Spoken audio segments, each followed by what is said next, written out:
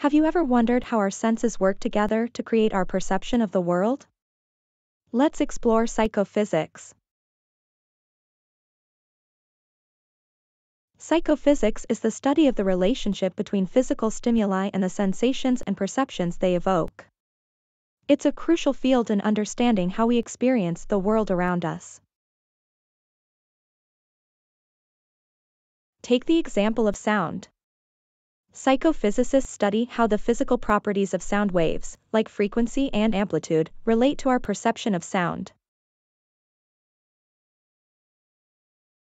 Psychophysics has practical applications in fields like medicine, engineering, and marketing.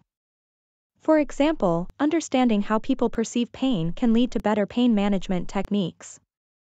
So, the next time you see a beautiful sunset or hear your favorite song, remember that it's all thanks to the fascinating field of psychophysics.